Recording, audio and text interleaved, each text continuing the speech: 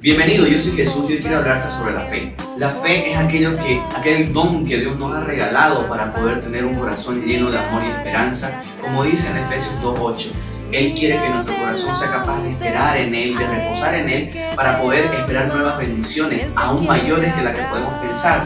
Por eso dice que es la certeza de lo que no se ve, pero que se espera, como dice en Hebreos 11.1. Dios quiere compartir con nosotros este gran don de poder alcanzar cosas maravillosas, como dice, tenemos la fe como un granito de mostaza, seremos capaces de mover montañas enteras en su nombre, porque Dios quiere regalarnos ese don hermoso para que paso a paso que demos en nuestra vida tengamos la certeza de que Dios nos acompaña.